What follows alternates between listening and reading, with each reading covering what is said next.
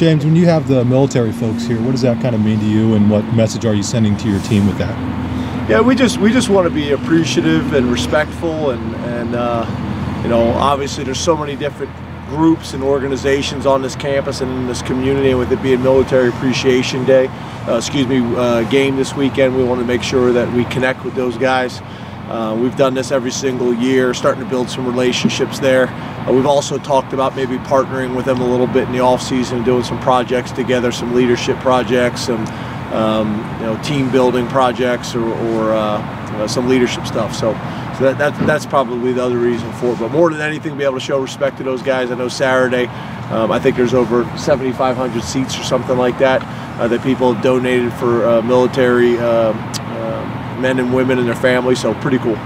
James, what's been done this week, as you said Saturday, to make sure everyone in the building knows you're getting back to your form? It's it's we're on it. I mean, it doesn't take a whole lot more. I think everybody kind of realizes I made this. I made the comment, and it's been it's been really good. You know, from that point on, I think the players understand it, and the coaches understand it, and um, you know, the, the reality is I don't think we were far off of it, but in, in you know when you when you've lost two games by a total of four points, it doesn't take much. It's it's every little bit. Um, so you know, just getting everybody kind of you know focused back on what what truly matters and what's going to allow us to be successful. James, how pleased have you been with the past two days of practice? I think it's been good. I thought I thought yesterday was good. Um, I thought today was good from you know from what I've seen so far. Um, you know, I, I, have been pleased. I think we got a few little wrinkles on defense and a few little wrinkles on offense. Uh, did some more self-scout studies, some things that I thought, you know, could help us. Uh, the coaches did the same thing, and, and you know, I, I, like where we're at. You know, I've had some conversations with people, um, players, about things that we need to do in terms of being more physical in the running game and uh, defensively. You know, playing with, with the type of passion and, and pride and flying around like we have. Um, and then special teams, you know, obviously just being a little bit more consistent. So I, I like where we're at. We got we got to go out and execute. We got to go out and play the way we're capable of playing on Saturday. But you know, so far it's been a good week of preparation. Hey James, DeAndre's made a number of big plays this year. When you look at him both as a receiver and as a punt returner, what dynamic does he bring to the team? Well, he's just he's so much more mature and so much more experienced. He's been in these positions before um, but he's playing with just so much more confidence right now. The game has slowed down for him. He's a great decision maker right now as a punt returner, which, you know, as a freshman, you know, I wouldn't necessarily say that was the case, but that's typical of freshmen. Um, but he's just playing with a lot of confidence. We feel like he's going to have some opportunities on Saturday. Their their punter can really bang the ball, so we're hoping he's going to have some opportunities there. And um, I know Trace has got a lot of confidence in him, and I know Coach Gattis has got a lot of confidence in him. He's just he always could run, but he's so much stronger now. He's he's you know, really mentally tough. Um, he's focused and he's making plays. You know, so you know, we're, we're very pleased with him and his development since he's been with us. Saeed also had a big play this weekend, touchdown, broke a few tackles, things like that. How do you evaluate his play? Yeah, Saeed, you know, Saeed's I think you know had a really good career and is having a really good year this year. He's a guy that can really run. You, know, you talk about a 6'1", 6'2", guy that can flat out run. Um, you know, whenever he's able to get in space, you look at the the posts that he's been able to, you know, run and make big plays, or when he's able to catch the ball in space. Um, you know, he's got a chance to turn it into a big play. We're going to need that from him. Obviously, you know, some of our guys like Saeed that are New Jersey guys, you know, they know a bunch of guys on these teams. Um, you know, so it should be exciting. It should be interesting. But I know, you know, Saeed's had a really good year for us and a really good career, and I think he's going to finish out the season strong as well. With Saeed and DeAndre, you know, splitting time so much at Z, how do you think that's helped the two of them throughout the year?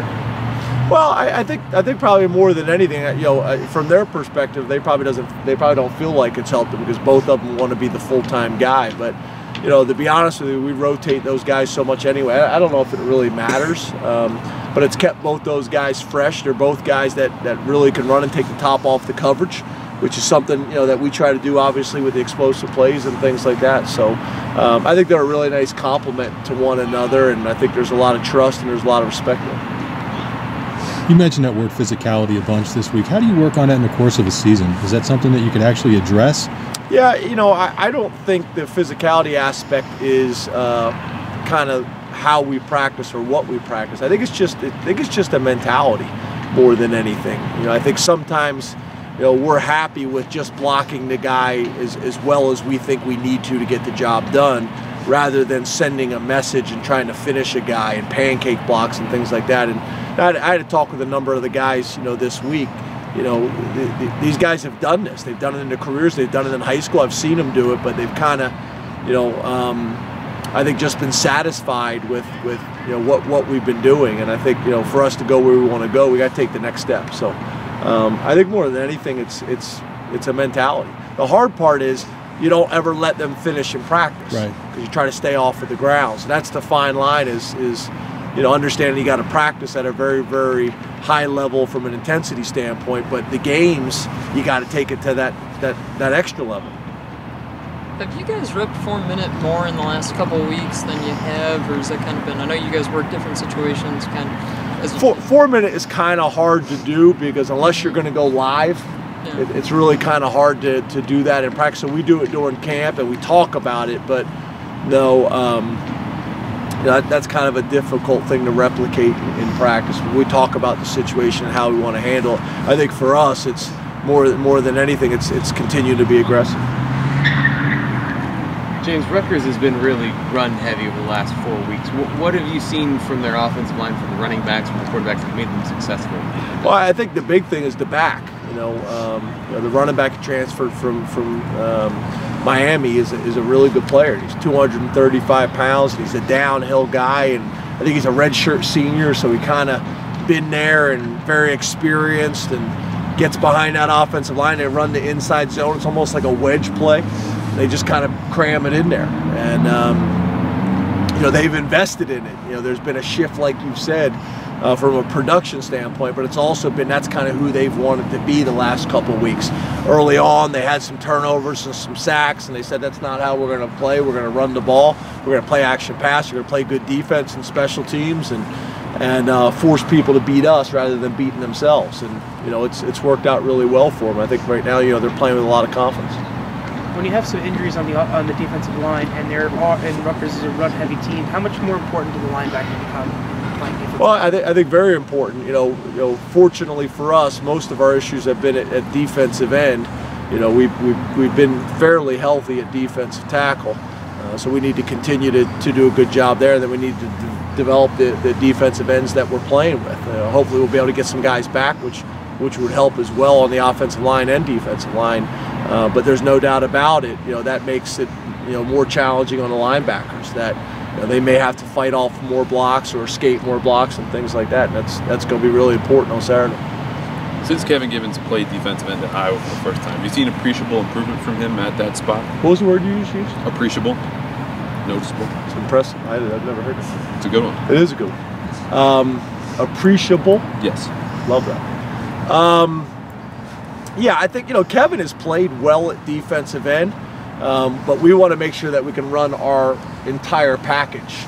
Um, you know, and, and there's there's some there's some small details uh, of the position that he just doesn't have the the cumulative reps you know that other guys have. So I think you know investing in his time at defensive end is gonna is gonna help us. It's gonna allow Brent to call the game the way the way he needs to call it because that that's the challenge is sometimes the play callers get affected in how they call the game because they're worried about the guys that are in can they execute all the calls that they want to call? So i think you know, the more time that kevin has playing that position the more confidence we're going to have in calling the game the way we want to call it and also put kevin in position to be successful. Time for two more. James, Will the do you think teams- of Shane Simmons' progression so far this year? What have, what have you seen from him in spurts? Uh, and I, I, that's probably the best way to, to, to describe it. Spurts. He's had you know flashes of, of really good things, and you know like a lot of young players, uh, you know that as they gain experience, they show their talent at times, but then they also maybe aren't in the right gap or or uh, play high or whatever it may be, and you know he's shown some really nice flashes. But for all young players, it's consistency. It's can you come out and do it at a high level you know, for a whole drive, for a whole quarter, for a whole game. And and as the season is progressing, I know the coaching staff is gaining more and more confidence in his ability to do that. Um, I think very early on, we are probably using him a little bit like know Shaka, you know, in a situational player. But you know, he's getting bigger and stronger, and you know he's, he's playing the run better than he has, and um, you know is, is really growing into kind of more of an every down defensive end, which is what we need from him, especially right now with the injuries we got. Well, the teams- won the Big Ten 2014, so did Maryland, so did you. Um, your evaluation on what those two programs have brought to the conference from recruiting and fo- from football's perspective.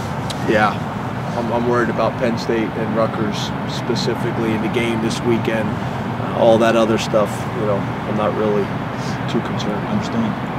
Thank you, Coach. Thanks. Thank you. I'd never heard that word.